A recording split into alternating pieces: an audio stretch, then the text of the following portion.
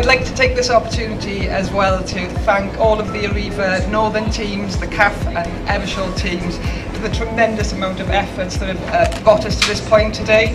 For our customers, these brand new trains will transform our travelling experience, giving our customers the quality that they deserve. Today demonstrates our ongoing commitment to delivering a transformational rail plan, providing faster, more reliable and modern train journeys for our customers. And I think it's important to stress that it's been a tough year, two years for lots of passengers in the north. This is about rebuilding trust. A new train is only as good as a punctual, reliable train. Look forward to these coming into service. Enjoy the rest of your time. Thank you. The great railway traditions that we like to follow at Northern, which is to uh, name trains, and we've named trains after famous landmarks and uh, famous places. Uh, and we're thinking about what to name this train. And our vision internally is proud to be Northern. And actually, it's been a tough year, as everybody knows, in the last 12 months. But I think with this train arriving today, I'd like to invite Amanda and David to go over to the train um, and start building in, please.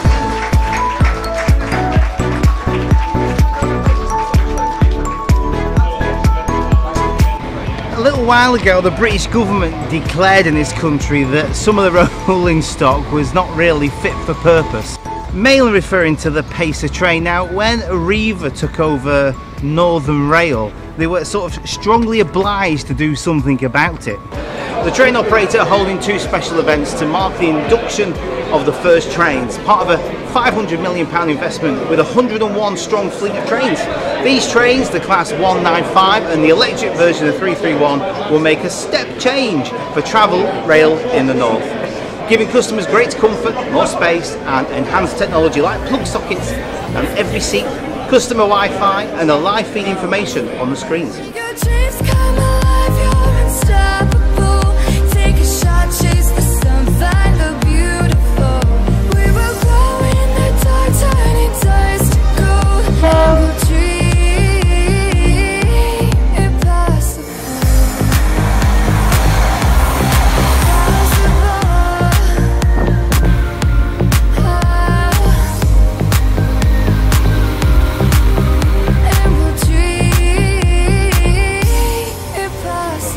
And they are here. And this train, this preview trip today is just the start. We'll introduce them into service from Monday, and then over the course of the rest of this year, the new trains will be introduced into towns and cities right across the north, uh, from Nottingham in the south, um, Blackpool in the west, across to York, uh, across to Sheffield. Uh, many, many people will get to experience the fantastic product that you're about to travel on for the first time today. The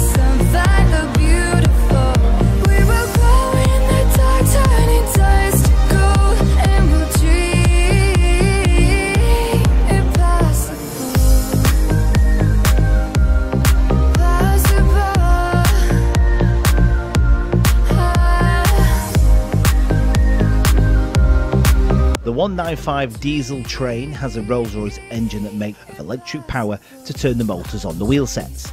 This type of train system is called a diesel multiple unit or a DMU. The engines also have a catalytic reduction system that reduces the amount of nitrogen oxide producing, making them cleaner and more efficient.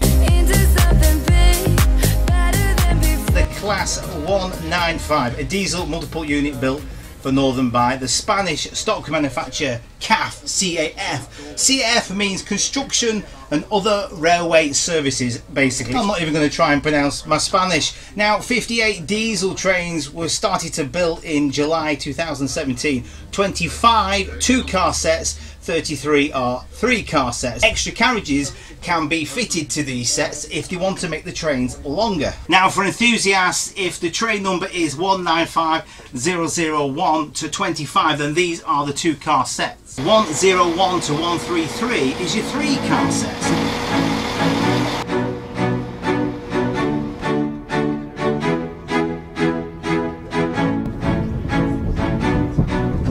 Customers are requested to remain vigilant.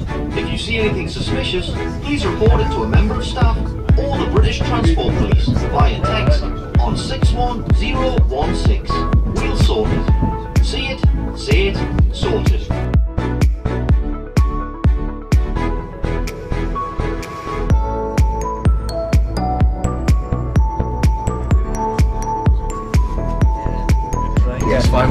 500 million pound investment. Yeah, yeah. Um, one which we're, we're on today. Yeah, yeah. Um, and, and that's what it's what it's all about. It is, isn't it? It's what customers want to do. It did, no, it definitely. Moving forward, these obviously are going to be electric sets as well.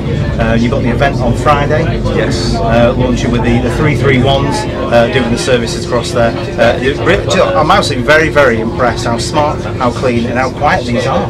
Very quiet, nice smooth ride, very very spacious as you can see, and that's uh, you know customers will, will see that difference. Every seat's got a, a table, you've got power sockets at each each location. It's, it's a warm day outside. Yeah. It's good quality air conditioning on board. Yeah. And you can see that things like um, the seat reservation systems will be switched on at some point in the future. So um, customer information screens as well. You can see that they're working. It's a step change in travel for customers across the north. And this is all part of Northern Connect.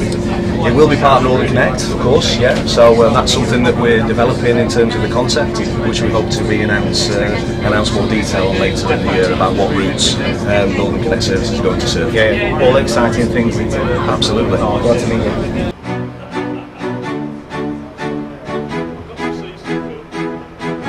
So Northern Connect is a way to group specific routes which connects passengers on longer journeys in the Northern network, providing fast, comfortable, inter-urban network connecting all the cities and towns with a population of 85,000.